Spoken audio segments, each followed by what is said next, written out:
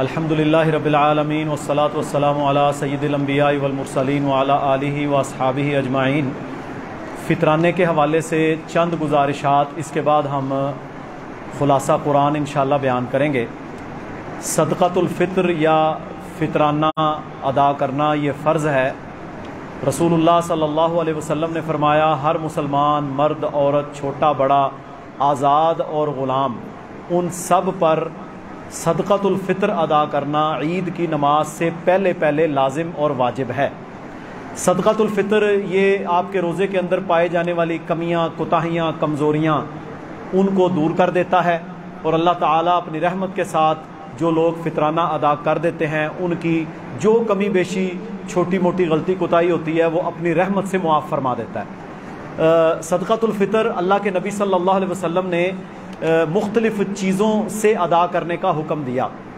फितराने में आप वसल्लम ने एक सा गंदम या एक सा जौ, इसी तरह एक सा पनीर, खजूर और किशमिश, यानी ये वो ग्रेन्स थी या खाने की अशिया थी जो उस वक़्त मदीना के अंदर लोग आम तौर पे खाते थे। ठीक है? तो एक सा से मुराद होता है तकरीबन अढ़ाई किलो। तकरीबन अढ़ाई किलो, ये बनता है दो किलो चार सौ ग्राम। तो अढ़ाई किलो आप रख लें।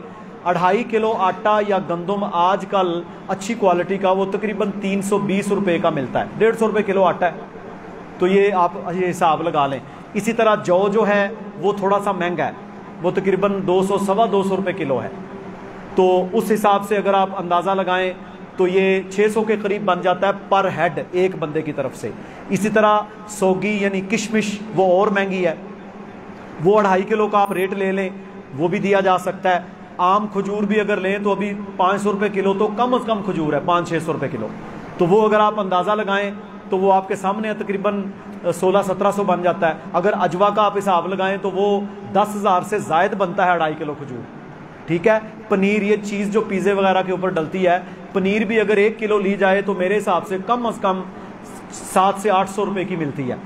तो ये अढ़ाई किलो का रेट आपने निकालना है। वो लोग जो हमारे आम हैं, वो तो गंदम का ही देते हैं। यानी तीन सौ बीस रुपये पर हेड आपने देना है। अगर आप लोग चावल भी खा रहे हैं, जौ भी खाते हैं, खजूर भी खाते हैं, यानी आपके खाने के अंदर बहुत सारी डिशें शामिल हैं तो फिर आप थोड़ा सा बढ़ा लें। यानी मैं इसका मोटा अंदाज़ा आपको ये बता देता हूँ कि आपने तीन सौ पर हेड से लेकर दस हज़ार रुपये पर हेड, अजवा अढ़ाई किलो के दरमियान जितना चाहे आप दे लें। अच्छा देना गरीबों को है। जितना चाहे आप दे लें, जितना अफोर्ड कर सकते हैं। ये हर एक देगा। सिर्फ़ वो नहीं देगा जो इसका मुस्तक है। यानी वो शख्स जो ईद के अयाम में अपने घर के अंदर रोटी भी नहीं पाता। उसके घर के अंदर खाने पीने को भी कुछ नहीं है तो वो तो लोगों से लेगा। सिवाय इसके, बाकी सब लोग फितराना अदा करेंगे। कोई अगर गंदम की शक्ल में या जौ की शक्ल में अदा करना चाहे, वो भी जायज़ है। पैसे की शक्ल में अदा करना चाहे, वो भी जायज़ है। और जो शख्स ये अदा नहीं करता, वो एक फ़र्ज़ का तारिक है। और इसको अदा करना चाहिए ईद के करीब करीब अभी यानी आखिरी अशरा शुरू हो चुका है तो आप ऐसे गरीब, मस्किन योतमा बेबगान आपके मोहल्ले में, आपके अकरबा, जो लोग आप ये समझते हैं कि ये बेचारे ईद के दिनों में रोटी और बुनियादी ज़रूरत की चीज़ें भी नहीं पाते तो आप उन तक ये फितराना पहुँचाएँ। आप उन तक ये फितराना पहुँचाएँ। देखें ना, एक बंदा है उसके घर में अगर दस अफराद हैं तो ये अच्छी खासी अमाउंट बन जाती है। तो आप इन ताला ये उनके घर में पहुँचाएँ। आप उनको आटा भी लेके दे सकते हैं, आप उनको चीज़ें भी लेके दे सकते हैं। तो बहरहाल सदक़ातुल्फ़ितर अदा करें जल्द से जल्द, जो ईद के बाद फितराना अदा करेगा, यानी नमाज़ अदा करने के बाद उसकी तरफ़ से फितराना अदा नहीं होगा। ठीक है जी, बात समझ आ गई फितराने की? तो ये इसलिए मैंने बयान किया है ताकि लोगों के सामने चीज़ें वाजे हो जाएँ। अब हम इन अपने पारा नंबर 22 और 23 की मुख्तसर तशरी बयान करेंगे इसके बाद इन हम वितर पढ़ेंगे। वितर पढ़ने के बाद फिर हमारी जो आ, हमारे अहबाब जो एतकाफ़ में आए हैं उनके लिए तोहीद की किस्मों के ऊपर ये क्लास होगी। और मेरे भाइयों सही बात यह है इस कायनात का सबसे अहम मौजू ही अल्लाह की तोहीद है।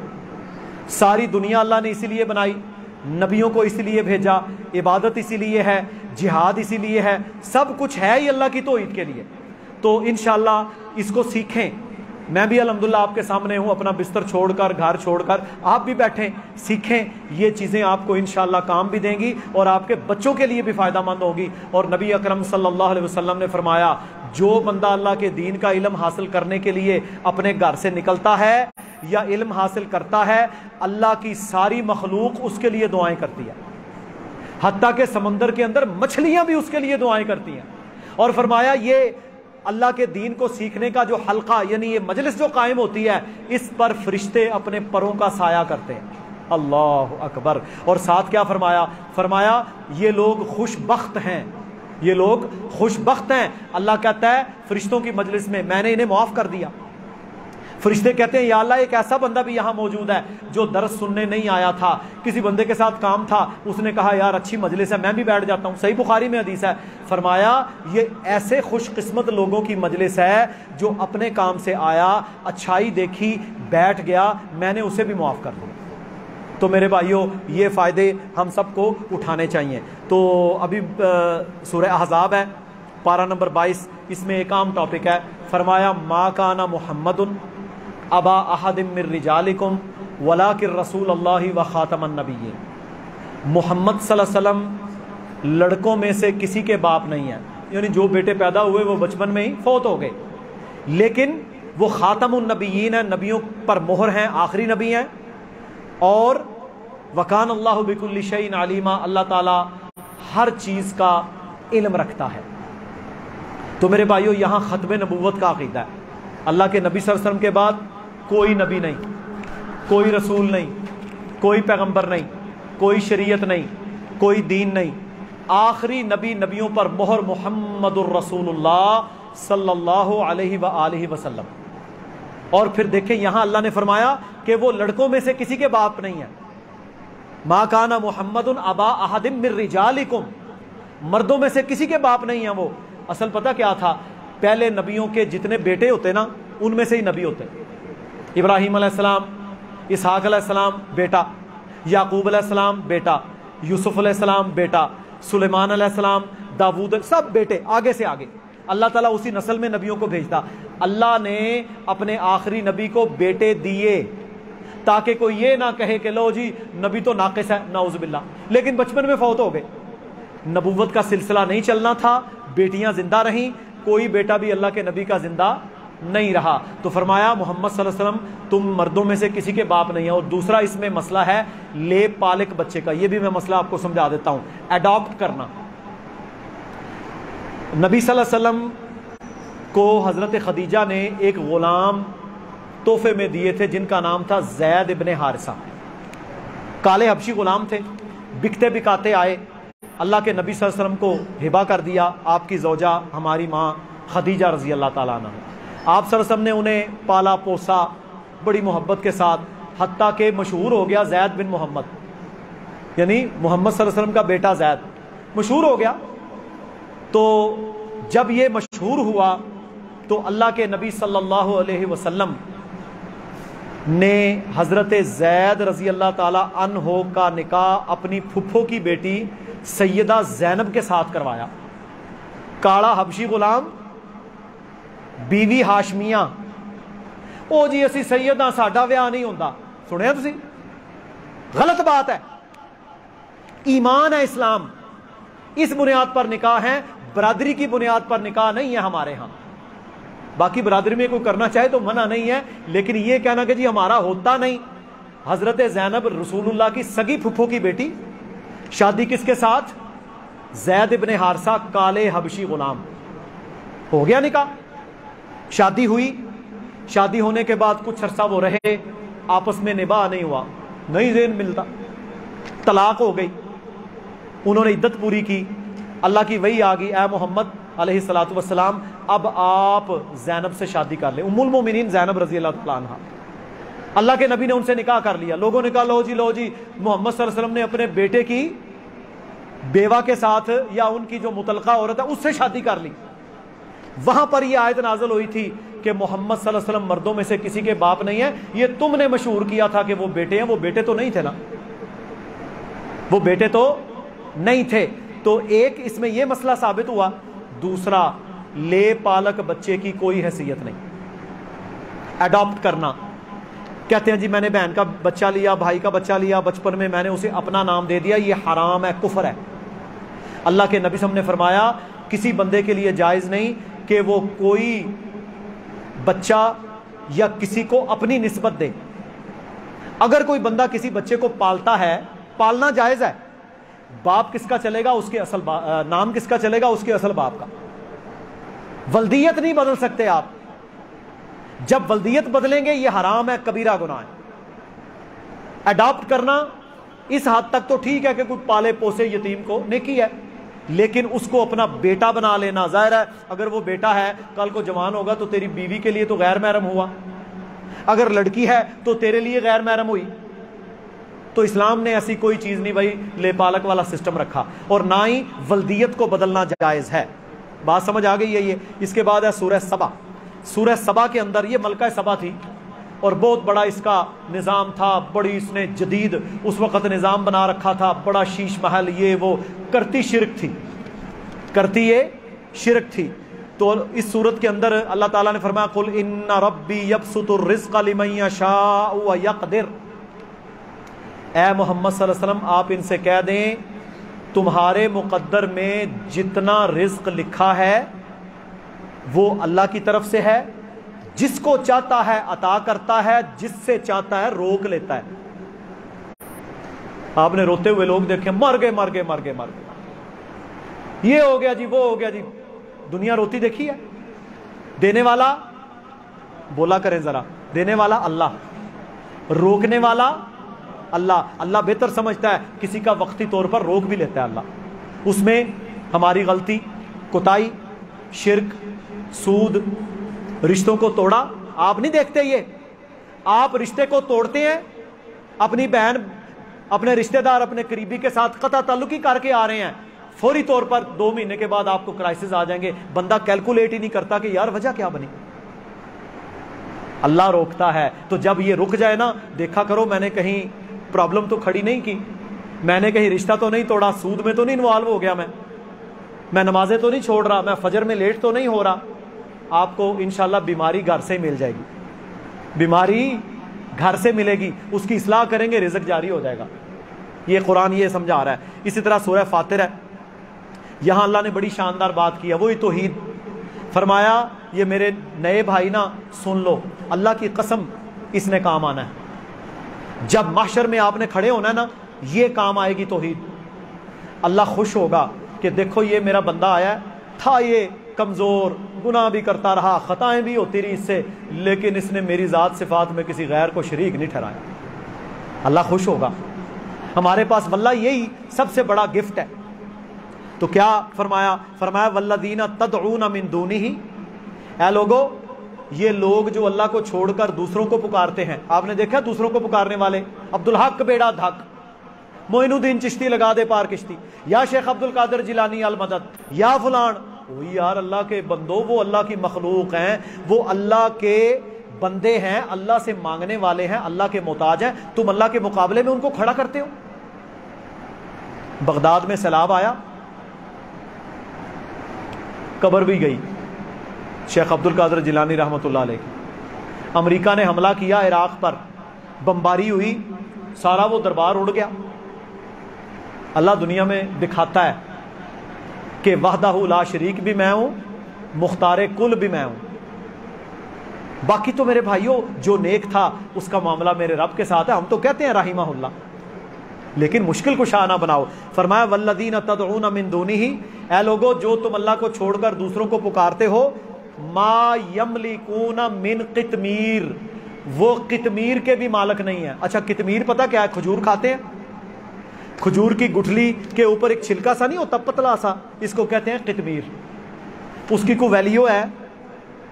कोई वेट कोई फ़ायदा?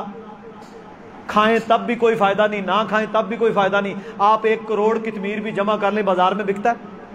यानी बेफजूल चीज़ है ना। फरमाया, वो जिनको तुम अल्लाह को छोड़कर पुकारते हो, मा यमलिकून मिन कितमीर, वो खजूर की गुठली के छिलके के भी मालिक नहीं है। बोलो अल्लाह अकबर। और आगे पता क्या फरमाया? फरमाया, इन तदम ला यसमाऊ दुआकुम तुम अगर उनको पुकारते रहो, वो तेरी पुकार सुनते ही नहीं। ला यसमाऊ दुआ वो तेरी दुआ नहीं सुनते। वलाउ समीऊ, अगर अल्लाह कहता है, सुन भी ले। पहले अल्लाह ने क्या कहा? सुनते कोई नहीं। लेकिन चलो, सुन भी ले। मस्तजाबू लकुम। कभी भी तुझे जवाब नहीं दे सकते, ना पूरी कर सकते। हैं अल्लाह अकबर। देखो, अल्लाह ने खजूर के छिलके की मिसाल देकर समझा दिया। इसके बाद अल्लाह ने फिर हमें पता क्या फरमाया? फरमाया, या अयुहन्नास ए लोगो, अंतुमुल फुकरा तुम तो अल्लाह के दर के फकीर हो। हम अल्लाह के दर के फकीर हम अल्लाह के दर के फकीर अल्लाह कहता है लोगो, तुम अल्लाह के दर के फकीर हो। इसी तरह मेरे भाइयों सूर्य यासिन है। सूर्य यासिन में एक बड़ी ज़बरदस्त आयत है। अल्लाह अकबर। अल्लाह ताला ने फरमाया, अलियम नख्तिम अला अफवाहिम व तो कल्लिमुना अदीहिम व तशहद अर्जुलहम बिमा यकसिबून। क़यामत के दिन हमारी ज़ुबान मुँह को बंद कर दिया जाएगा। हमारे मुँह को, ज़ुबान को बंद कर दिया जाएगा। हाथ बोलेगा, पाँव बोलेंगे, जिसम बोलेगा बताएगा, या अल्लाह ये ये ये कुछ करता रहा है। हाथ, मेरा हाथ मेरे खिलाफ बोलेगा। मेरा पाँव मेरे खिलाफ बोलेगा। ये होना है, हर बंदे के लिए ही है मिसाल। यानी हमारे हाथ, पाँव, जिसम के आज़ा, जिनको तसलियाँ तशफियाँ, जिनके, जिनको संभालने के लिए हम सब कुछ करते थे, ये हमारे खिलाफ गवाही देंगे, या हक में गवाही देंगे। बिमा कानू यकसीबून, जो करतूत हम करते रहे, ये बोल के बताएँगे, या ये इन पैरों से चल के वहाँ गया था। इन हाथों से इसने ये किया था, इन आँखों से इसने ये देखा था, इन कानों से इसने ये सुना था। क्या ज़रूरत पड़ी हुई है हमें इन आज़ा को अल्लाह की नाफरमानी में इस्तेमाल करने की? जब इन्होंने हमारे खिलाफ गवाही देनी है तो हम क्यों ना पूरे जिसम को रब के हुक्म के ताबे करें? ठीक है जी? सूर्य साफात है। सूर्य साफात में, ये सूर्य साफात की जो पहली ग्यारह आयात है ना,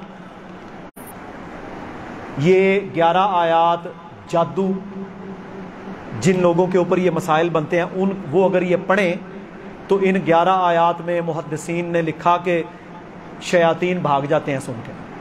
तो सूर्य साफात की पहली ग्यारह आयात जादू वगैरह के लिए ऐसे मामला में पढ़ने से बहुत फ़ायदा होता है। ठीक है? इसी तरह सूर्य साफात में अल्लाह ताला ने ना ज़िक्र किया है इब्राहिम अलैहिस्सलाम का।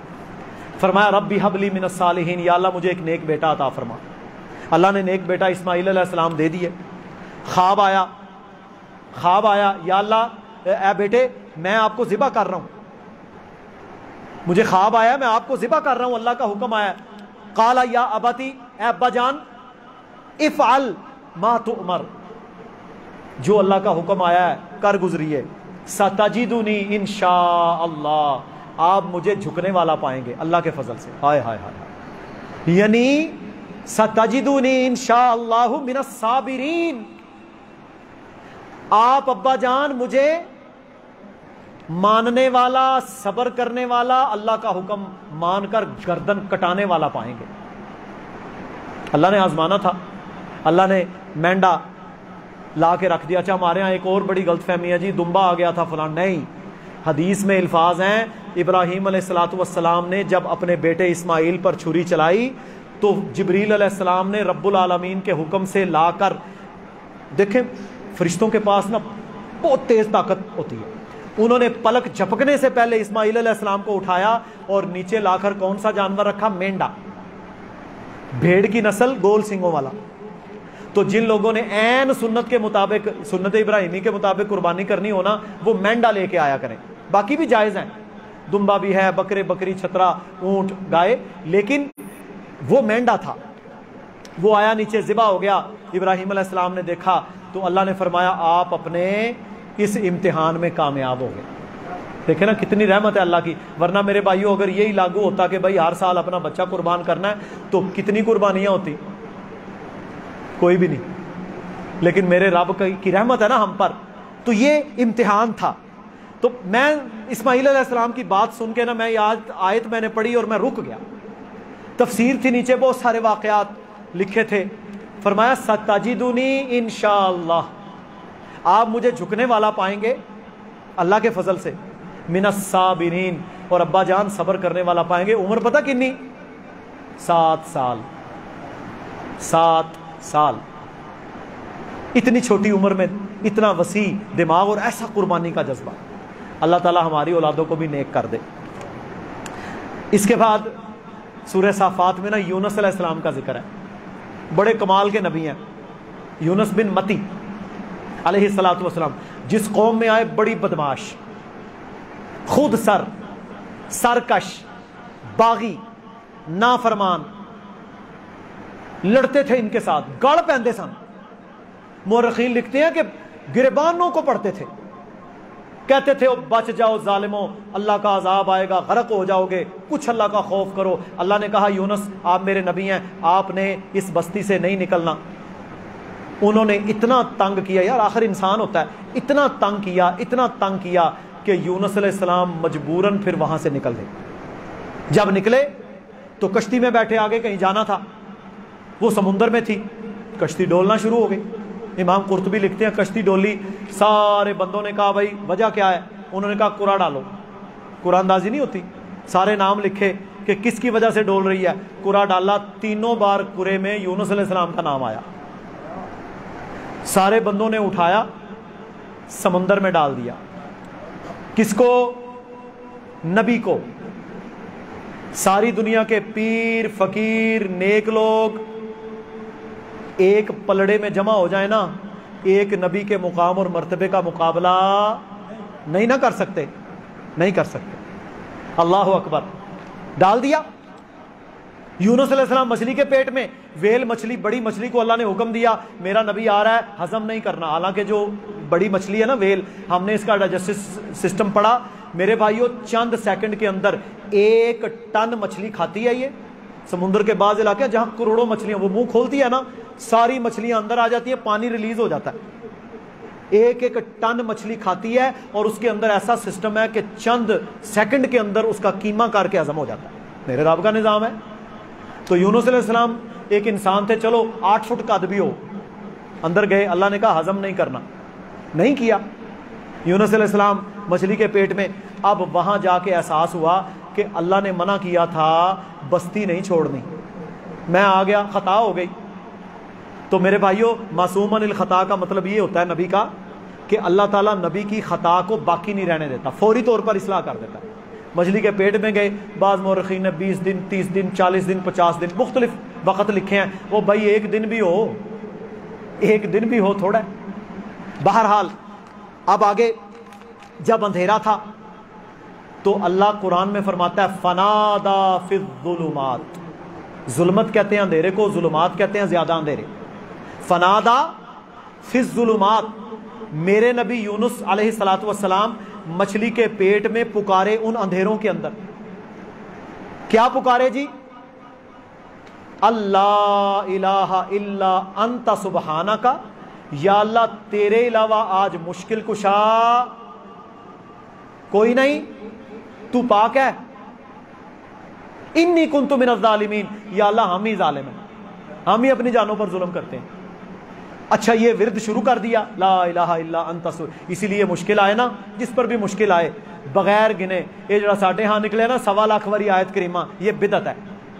सौ बार से ज़्यादा गिन कर पढ़ना अल्लाह के नबी से साबित नहीं है। कितनी बार? सौ बार से ज़्यादा गिन कर पढ़ना साबित नहीं। बाकी सौ से ज़्यादा बार पढ़ना है तो बगैर गिने हुए पढ़ना है। ये समझनी चाहिए ना बातें। ये सवा लाख वारी पढ़ो जी। फिर जनाब, आयत करीमा आ गया। आयत करीमा जनाब मिलक हो रहा है। मौलवी साहब हाँ जी किन्ने किन्ने पढ़े? जी सत बंद ने पढ़िया वो इकट्ठा होगा, फिर उसको रोटी सामने आएगी। ये सारी बेदात है। ऐसे ट्रांसफ़र सिस्टम नहीं है इस्लाम में। तो ला इला सुबहाना का इन कुन तुम ज़ालिमीन। पढ़ा। अल्लाह ताला ने फिर कुछ दिनों के बाद मछली को हुक्म दिया। मछली ने पेट से बाहर निकाल के फेंका। ये सूर्य साफात में फिर अल्लाह ने पता क्या फरमाया? ये आयतें भाई सुनिएगा।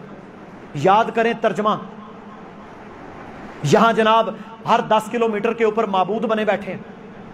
हर पाँच किलोमीटर के ऊपर हरा झंडा लगा, वहाँ मुश्किल कुशाइयाँ हो रही हैं, औलादें दी जा रही हैं। इसलिए तो हम पर अजाब है कि हमने अल्लाह के साथ गद्दारी की, बगावत की और कलमे की तो इनकी नबी मछली के पेट में है, खुद निकले, नहीं।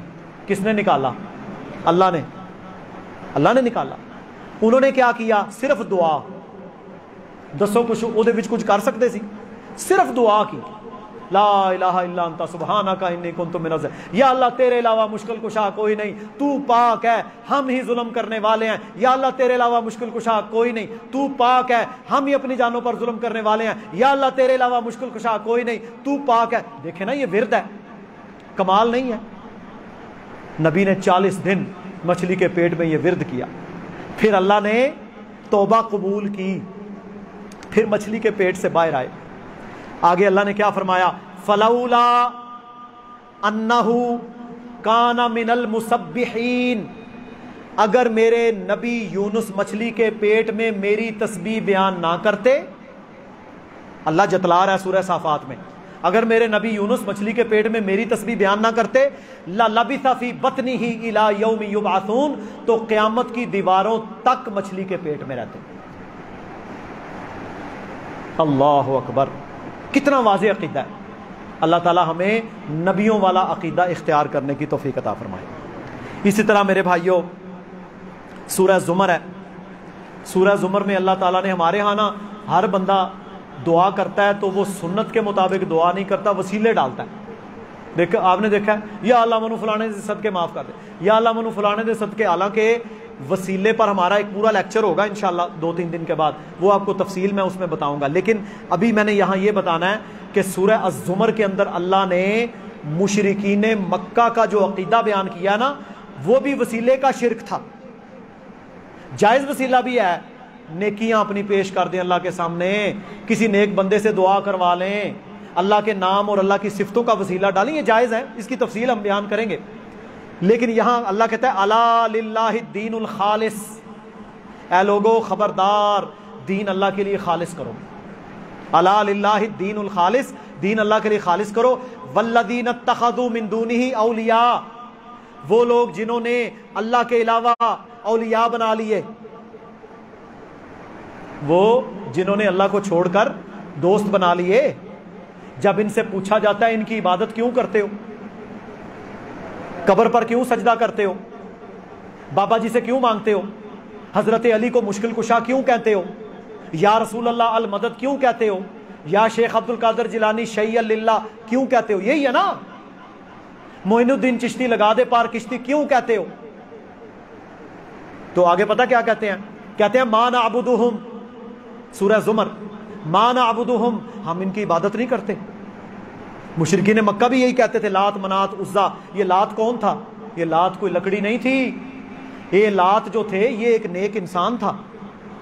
अब्दुल्ला बिन अब्बास कहते हैं, सही बुखारी में हदीस है रसूल ने फरमाया, ये एक नेक बंदा था और इतना नेक था, ये जितने हाजी आते, उनको सत्तू गोल गोल के पिलाता था। शदीद गर्मी में। नेक बंदा था ना? उसका बुत बनाया, उसकी इबादत शुरू कर दी। तो कहते हैं, मान आबुदुहुम हम इनकी परस्तश नहीं करते, इल्ला लियुकर्रिबूना इलल्लाहि जुल्फा, मगर ये हमें अल्लाह के करीब कर देते हैं। पंजाबी की कहते ने साडी सुनदा नहीं ते इन्हां दी टालदा नहीं। ना, ये अकीदा ही गलत है। अल्लाह पता क्या कहता है? अल्लाह कहता है उदूनी अस्तजिब लकुम। मेरे से दुआ करो, मैं तुम्हारी दुआ सुनता हूँ, कबूल करता हूँ। मैं तुम्हारी शाहरग से करीब हूँ। इजा साला का इबादी, मेरे बंदे, मेरे बारे में सवाल करते हैं, अन्नी मैं कहा हूँ फ़नी करीब हूँ मैं तो करीब हूँ। उजीब दावत दान जो मुझसे दुआ करता है मैं उसकी दुआ सुनता हूँ। फलियस्तजीबुली दुआ को कबूल भी करता हूँ। वलयुमिन भी यरशुदून, फिर भी तुम ईमान क्यों नहीं लाते, हिदायत क्यों नहीं इख्तियार करते? अल्लाह सुनता है। अल्लाह दुआओं को सुनता है।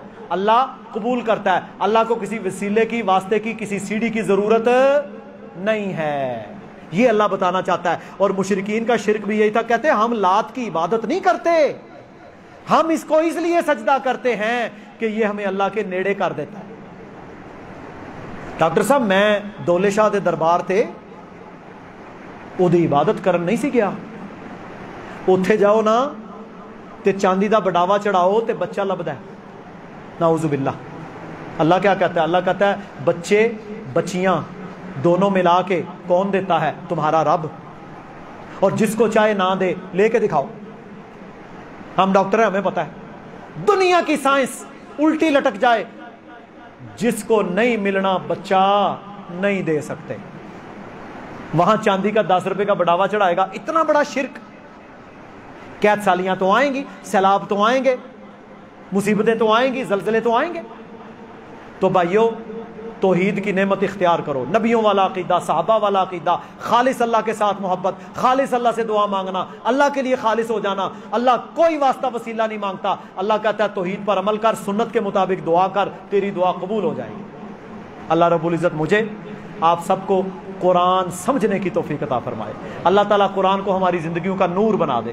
कुरान को हमारे अकीदे का मस्कन बना दे। सुबहाना रब्बी का रब्बिल्ज़त अम्मा यसिफ़ून। वसलामसलिन वलहमदिल्ला रबालमीन इन जो क़्याम होता है ना रात को, ये सवा एक से सवा दो तक उनतीसवें तीसवें रोज़े तक चलेगा रोज़ाना। तो अब आप इंशाल्लाह उसमें ज़रूर शामिल हो। अब हम वितर पढ़ेंगे। जो लोग वितर पढ़ना चाहते हैं वो पढ़ लें। इसके बाद हमारा तोहीद की किस्मों के ऊपर दर्स होगा। अल्लाह समझने की तोफ़ी कता फरमाए।